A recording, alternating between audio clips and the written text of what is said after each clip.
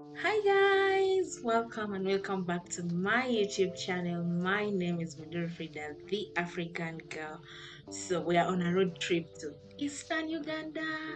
Yes, so um it's from Arua to Eastern Uganda. So we are picking it up from Kampala because I've done road trips from Arua to Kampala, so I'm not going to repeat that. So this is from Kampala. This is about um 6 a.m. in the morning when I arrived Kampala. So we are getting off the bus. I took the um, the 8:30 p.m. bus and I arrived Kampala at 6. Yes, that's because the driver was trying to, you know, be disciplined on the road, so I wasn't over speeding. We were just very okay. So have to get off the bus and move to the old taxi park to get a taxi to start the journey to Eastern Uganda. So this is the old taxi park. Uh, one tip for somebody who is new in Kampala: if you don't know places, please just take a boda boda. Don't stress yourself. Take a boda. Sometimes they might overcharge you when they realize that you don't know places, but it's okay. Instead of getting lost while you're trying to save, just take a boda. So we are off, um, heading towards the east. So this is still Kampala. Um, from Kampala to Kaliro, where I went to, uh, we we took about five hours because we left the park at 7 a.m. and we reached Kaliro by around 11:30. That's because we had some stopovers and all of that. So it's not a long journey. It's a very short journey with beautiful things to see on the road. So let's go.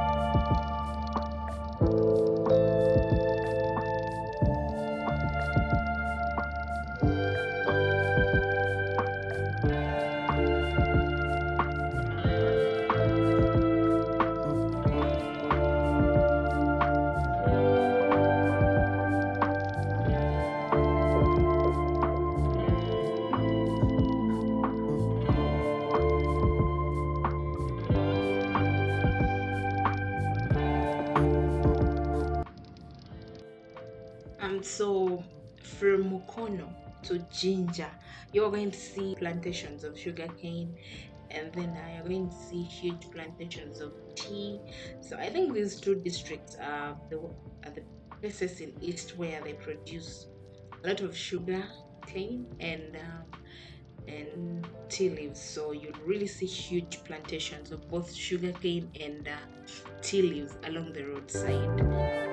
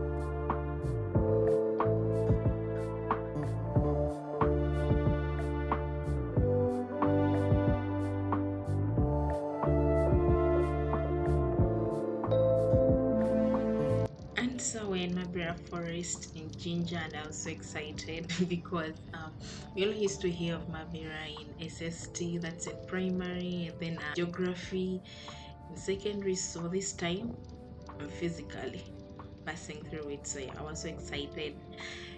And also, the Jinja Bridge. I was so excited about the bridge. I don't know why, but it's so beautiful. So I was just so excited about it.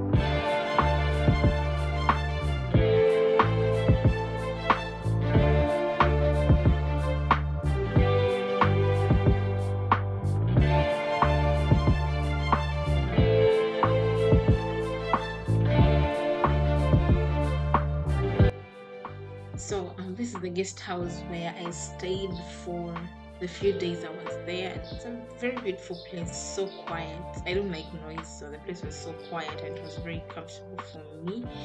And this is my simple bed, just my simple room. Let me just take you around. And so I shared this room with a friend of mine whom you will soon see in the next video. Okay, so yeah this room was very convenient for us, so quiet. Both of us don't like noise, and we just loved the place. So I, I went ahead of her. She followed later. So I got this for us. Thank you guys for watching. If you like this video, kindly give it a thumbs up. Drop your comments down below. Subscribe, and I will see you again in the next one. Bye, guys.